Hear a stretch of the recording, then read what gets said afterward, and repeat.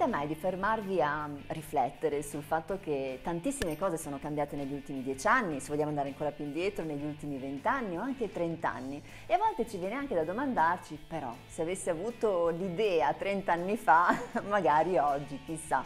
C'è tutto questo nella realtà che vi racconteremo questa sera. Second Hand Mobile, con noi Luca Matteoni, benvenuto.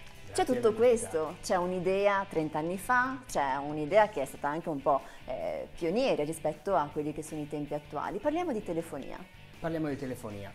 Eh, intanto Second Hand Mobile eh, nasce nel 2018 ed è un'azienda che si occupa di trasferire un modello di business eh, ai rivenditori che desiderano affiliarsi alla nostra realtà per imparare a entrare nel mondo dell'economia circolare, nel mondo della compravendita dell'usato.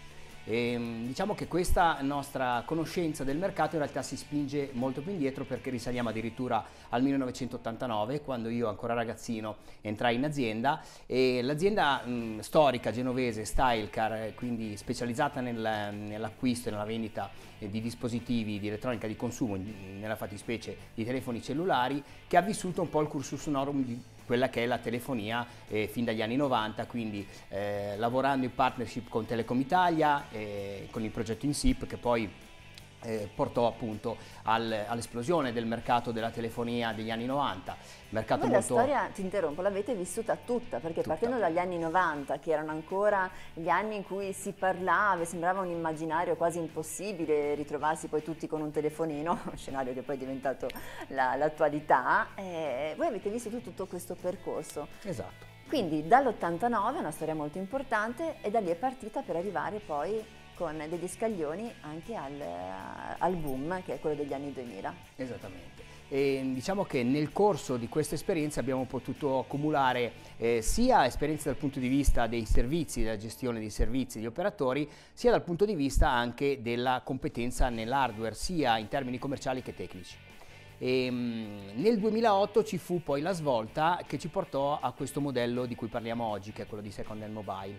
Perché? Perché l'azienda si rese conto che i compensi dei gestori sempre più scarni, in virtù della polverizzazione del mercato e quindi della saturazione, se vogliamo, anche un po' di quelle che erano le linee eh, telefoniche, perché ci ritrovavamo tutti con due o tre linee addirittura, per cui era difficile conquistare ulteriore mercato vergine eh, un po' per l'avvento sul territorio eh, del grande successo della mm, grande distribuzione organizzata e anche della rete che iniziava con Amazon a imperversare, quindi creando problemi di competitività per la piccola e media impresa, ci rendiamo conto che dovevamo svoltare. La svolta avvenne proprio in questo modo, andando a eh, gestire il problem solving della clientela, che voleva assistenza, quindi competenza tecnica, e che voleva soprattutto eh, un risparmio, un risparmio che con il prodotto nuovo non eravamo in grado più di sostenere e garantire, perché le potenzialità di una piccola media impresa non hanno queste capacità, e questo ci portò a, a sviluppare diciamo, una competenza specifica nel mondo dell'usato. Inizialmente l'usato veniva considerato come sviluppo del trade-in, cioè del ritiro da privato per poter vendere prodotto nuovo ma capimmo che se riuscivamo a ribaltare questo paradigma e a portare al centro dell'attenzione l'usato, andando ad acquistarlo anche all'estero, quindi addirittura in Giappone, in Stati Uniti, in Sud America, in questo modo riuscivamo ad avere sempre prodotto in vetrina disponibile, tanto per soddisfare quella che era l'esigenza di qualsiasi cliente. Quindi non più l'angolo dell'occasione dove alle volte vi capitava di trovare qualcosa di interessante, ma una vetrina sempre piena di tutte le occasioni possibili, dal chilometro zero fino ad arrivare ai gradi più bassi, estetici, ovviamente funzionalmente tutti perfettamente funzionanti e testati, e, e questo ci fece esplodere in mano un, un business. E, ehm, grazie a questa esplosione arrivammo nel 2018 con una macchina eh, tarata anche dal punto di vista del software perché ovviamente abbiamo dovuto sviluppare un software che ci consentisse di poter gestire al meglio il nostro, il nostro business. E arrivavamo ad avere una macchina talmente zen, talmente perfetta nelle sue implicazioni anche dal punto di vista legale, amministrativo e burocratico, perché trattare l'usato vuol dire eh, in, diciamo, imbattersi tutta una serie di ostacoli che devono essere gestiti in modo professionale per non fare diciamo, i cantinari, ma avere un'azienda professionale eh, che abbiamo deciso di mh, vendere diciamo, il nostro modello, il nostro know-how, la nostra esperienza e il nostro software ai partner interessati a entrare in questo mondo. E qui si arriva al presente e qui si apre un nuovo mondo. Esatto, nel 2018 si apre il mondo di Second Hand, che è un'azienda che ad oggi annovera eh, 150 punti vendita affiliati, che ehm, riescono percependo il nostro know-how in pillole e grazie al software che mettiamo a disposizione a operare nel mercato dell'economia circolare, un mercato che noi riteniamo particolarmente virtuoso, come virtuosa è l'azione che noi svolgiamo sia di sostegno alla piccola e media impresa che oggi purtroppo sembrano andare più di moda, no? invece eh, necessitano di essere sostenute perché? perché rappresentano l'artigianalità eh, il nostro, se vogliamo, è un semilavorato, il nostro telefono perché viene testato, controllato, pulito, igienizzato, quindi c'è bisogno di una manodopera. E se vogliamo questo è un po' l'antidoto alla grande distribuzione, l'antidoto al format della rete, perché eh, laddove è necessario un intervento di un tecnico specializzato, comunque di una persona che sia adeguatamente istruita, c'è l'artigianalità che quindi eh, consente eh, alle aziende eh, che noi forniamo di poter sopravvivere a questo mercato così difficile. Quindi voi oggi a chi vi rivolgete? Ci rivolgiamo ai rivenditori che desiderano eh, diciamo, eh, un punto di rottura con la vecchia economia basata soprattutto sul gestore, basata soprattutto sul prodotto nuovo che oltretutto impatta radicalmente eh, sull'inquinamento perché l'iperproduzione porta a inquinamento e vuole eh, sposare un modello che sia virtuoso dal punto di vista eh, proprio ecologico, eh, tanto è vero che puntiamo molto anche in termini di marketing eh, all'ecologia, parlando anche al consumatore stesso, sia dare una svolta economica alla propria azienda rilanciandola in un momento difficile. Allora, c'è stata praticamente in, in, c'è stato in tutto questo vostro percorso che è partito quindi dal 1989 per molti versi, ehm, una doppia intuizione. La prima intuizione è stato il settore, quindi il, il settore della telefonia mobile, e poi una seconda intuizione che è quella del rigenerare l'usato, poi in sostanza di creare questa formula che abbiamo appena raccontato. Tu mi hai a telecamere spente eh, raccontato degli aneddoti che sono molto, secondo me, raccontano ancora di più e ci portano nel vivo di quella che è la realtà di second hand mobile.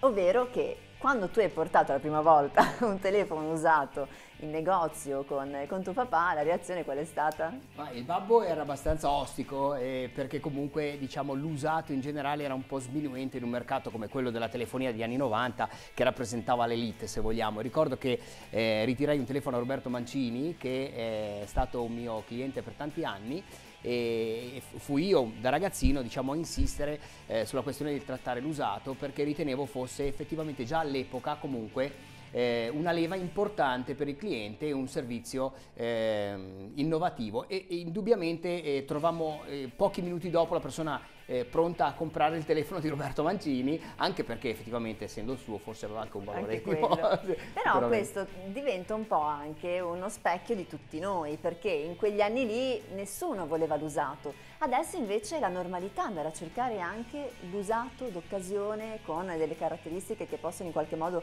rispecchiare quelle che sono le esigenze del, del consumatore e quindi ancora una volta avete avuto l'intuizione giusta, la direzione giusta. Allora assolutamente questo, questo che tu dici è assolutamente vero, tanto che eh, negli ultimi Natali ci siamo stupiti di come le persone venissero a cercare un usato da regalare e questa è una cosa simbolica, no? perché il, il, il diciamo, telefono nuovo viene considerato lo status symbol del regalo, quindi essendo un regalo è meglio che sia nuovo, teoricamente. In realtà non è così, in realtà il consumatore è pronto per questo salto mentale e questa è una cosa che ci gratifica in particolar modo perché effettivamente siamo consapevoli di dare al nostro potenziale dealer affiliato delle armi per poter lottare in un mercato ipercompetitivo in modo veramente esclusivo e, eh, ed essere sicuramente nel timing del mercato adeguato. Oggi è il momento giusto per affiliarsi a un'azienda come la nostra. State disegnando un po' quello che è il futuro, raccontiamolo. Allora, diciamo che non vogliamo assolutamente fermarci a dove siamo arrivati, abbiamo appunto 150 punti vendita che contiamo entro il 2023 di far diventare 300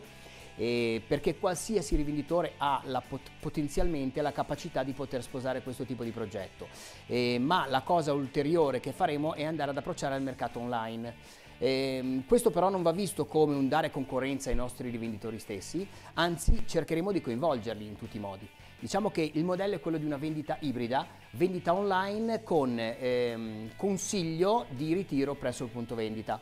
Questa fisicizzazione della vendita online, che peraltro stanno seguendo anche molti colossi come Amazon cercando di andare a fisicizzare con dei veri e propri punti vendita sul territorio, noi il vantaggio intanto di ehm, essere un'alternativa ai venditori online dell'usato e del rigenerato che ad oggi eh, imperano sul mercato facendo circa il 47% delle quote, dando la possibilità di far eh, acquistare al cliente finale un prodotto italiano perché gestito e eh, commercializzato da un'azienda italiana e poter rivolgersi nel territorio a rivenditori che poi diventeranno un domani rivenditori di fiducia per poter tastare, toccare con mano l'usato che acquistano. Perché? Perché l'usato non può essere perfetto per definizione, a parte il chilometro zero ci sono poi telefoni di grado A, di grado B, di grado C e andare a poter vedere, toccare con mano che cosa stai ritirando, dando magari anche il tuo telefono indietro e effettuando una compravendita.